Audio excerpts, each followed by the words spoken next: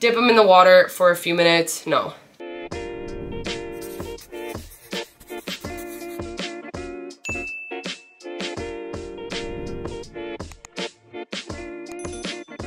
Hey everyone and welcome to my channel. I'm Nikki and today's video I have a copycat takeout meals at home. They're meant to be more filling options, lower point or lower calorie on WW.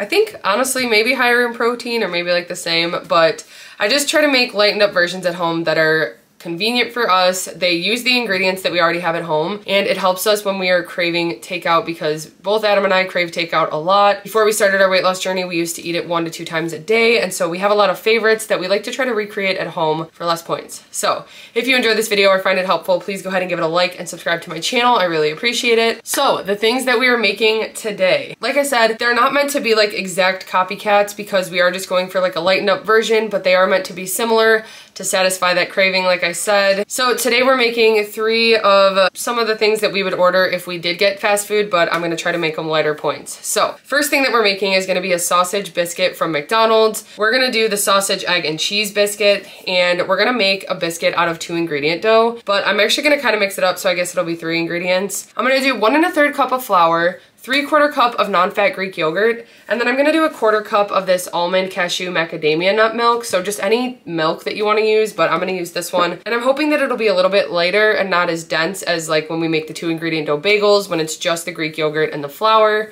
I also add a teaspoon of baking powder because I don't use self-rising flour. I use all-purpose flour. So I'm gonna go ahead and just make those. I'm gonna make the dough and then portion them out into four even servings.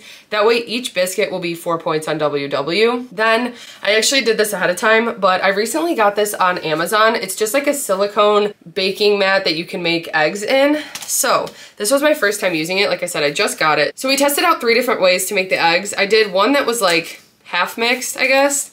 And that's how these turned out. Then I did two that were fully mixed through and then two that were not mixed at all. So I just baked those at 350 for 20 minutes and they came out perfect. Those will be the eggs on our sandwich and these will be zero points for us because they're zero points on WW. Then they also come with cheese if you order them with cheese. So we're gonna be using light Swiss today. We prefer this on our breakfast sandwiches and we think it'll be really good on the egg sandwich. Of course, you could use any other light cheese option you have, but we get this from Trader Joe's. It's two points for a slice, 50 calories, and seven grams of protein. And then the last thing that I'm missing is the sausage. So today we're using the Applegate Savory Turkey Sausages. These are just breakfast sausage patties. One patty is 50 calories and only one point. So I'm pretty much just gonna toss these in the microwave and actually they're the perfect size.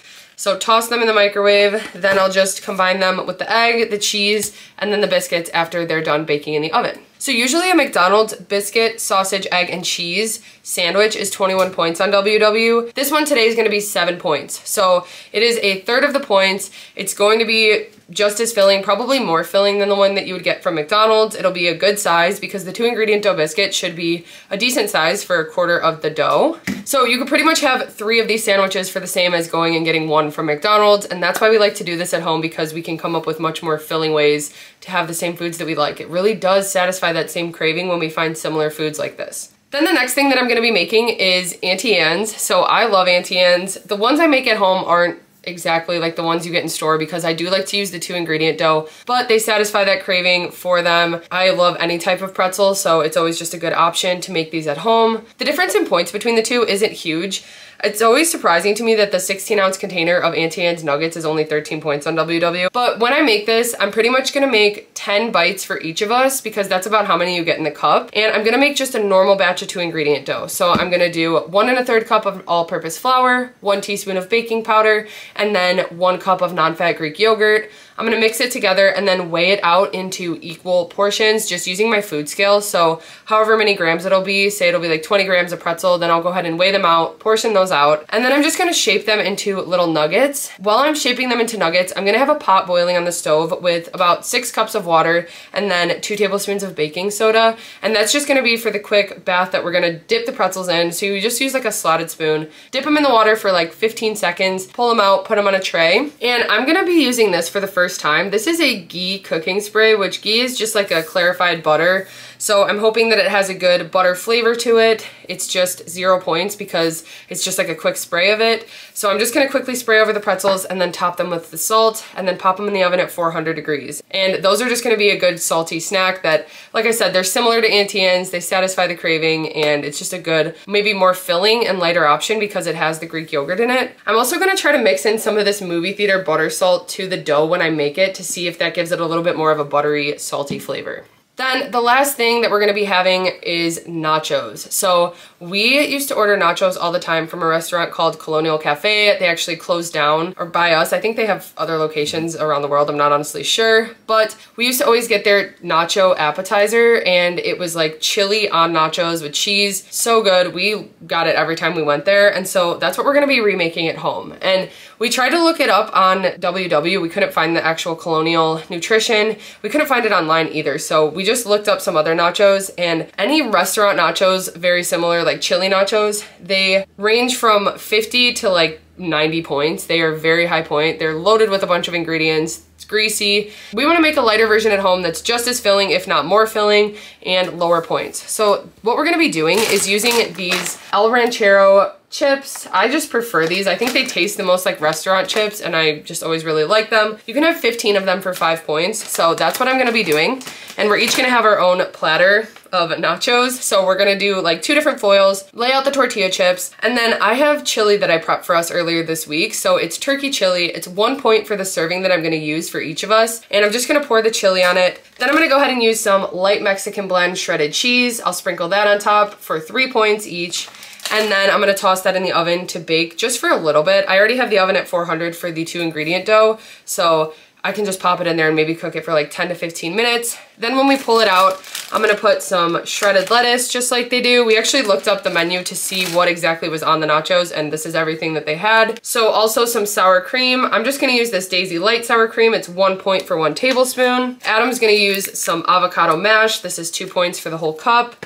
And then I also made us some restaurant style salsa. So that's the other thing that they have on it. And this is just made from canned tomatoes, cilantro, onion, jalapeno, and that's pretty much it. I just make it in the blender and that's zero points for us. So we'll top it with that and those will be our nachos. So like I said, they're anywhere from like 40 to 90 points and ours at home are gonna be 10 points and you'll see how big the serving is. So let's go ahead and get started.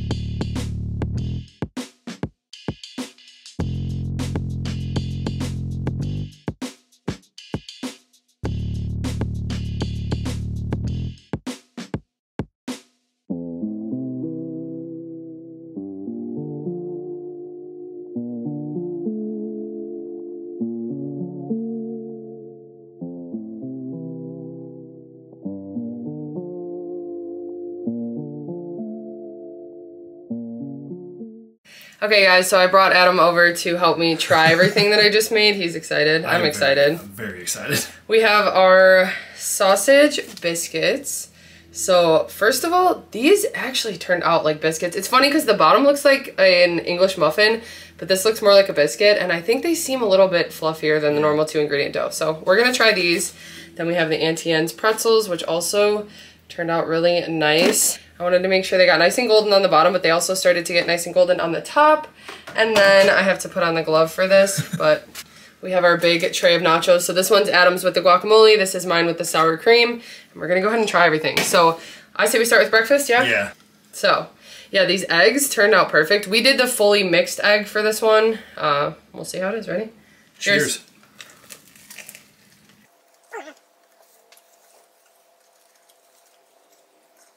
Okay, first of all, the egg's perfect. Yes. The sausage is perfect for it. yes. And it does taste kind of like a biscuit. And they're they're like fluffy like biscuits, They really, I can't believe that the cashew milk actually made that much of a difference. right? Okay, I'm taking another bite. Same.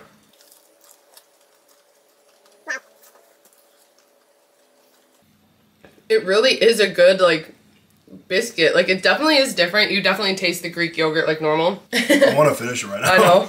Well, we have more things to try. That is so. way better than McDonald's. That's way better than the Jimmy Dean ones I eat. Right. Oh my gosh. It's not as greasy. And this is something I could actually prep you, prep for you to bring to work. Yes. How many points was it? So this entire sandwich is seven points. Usually if you get this from McDonald's with the cheese, it's 21. So, And the Jimmy Dean one is eight. So true. And this is much more, I feel like this is going to be more filling. Huge, way bigger. Too. Okay, so now we're gonna go ahead and try the Auntie Anne's pretzels. I usually get these plain. Uh, Adam likes to get the cinnamon ones, but sorry, we did these today. it's all good. Cheers. Cheers. Okay. They have the perfect crunch to them. Because sometimes even the Auntie Anne's ones are soggy. They're so salty and buttery. and it's so fluffy on the inside. I actually think putting this in the dough made such a difference. I think so. It made it so much saltier and more buttery. It t- you, it like tastes so buttery too. That is really good. Those I, they're not greasy like the Auntie Anne's ones can get. Yeah. Because they're just sitting in butter. Like those are so good. Those have a really good crunch. Those honestly would be good in a cheese sauce. We should make the cheese cup from 815 Eats and dip the cheese in it. Yep. Those are really good. I need to make these more because they really are simple to throw together. Okay. That was so Wow. good. Now let's go ahead and try the nachos, which Okay. we're just gonna leave it on the counter and Yeah. grab a nacho. Okay, so here's mine. Ah, oh, it's dripping I with got cheese. some. got a hanging little lettuce. Ready? Cheers. Cheers.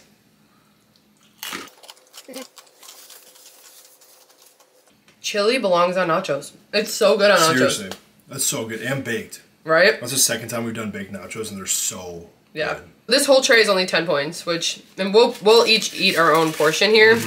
It's I'm excited. lot. It's gonna be messy, but that turned out really good. And then So ta- it tastes, honestly, it tastes so much like the colonial ones. Really actually. I think it's it's just the chili on there. Like honestly, chili Yeah. nachos, it, it tastes like restaurant. And I know you could add pulled pork, and we used to do that sometimes too. So we could even add like a chicken or a pork to Mm-hmm. it, or like a any type of meat. Definitely. Okay, well, Favorite thing. I don't even know. Honestly, I- I'm surprised to say this, but I think that this might. Be I was gonna say it too. Yeah, probably because we've had the nachos a lot. But still, This is really good, and I'm honestly really happy with that silicone egg baking tray. That made it so much easier. I just had to crack them in there. Uh, the ones that I mixed all the way, I mixed first and then just poured them in. So I just had a bowl that I kept like switching out. But oh, I really like the Auntie Anne's too, and the nachos. Everything, everything's so good. right?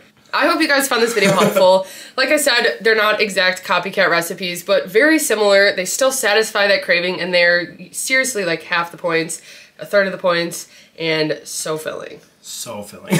Yeah, so I hope you guys try these out. If you do, let me know. And thank you for watching. We really have a lot of fun doing these, especially these, because we take our fast food seriously. Yes. So hope you enjoyed it. And if you did, please go ahead and give it a like and subscribe to my channel. I really appreciate it, and we will see you next time.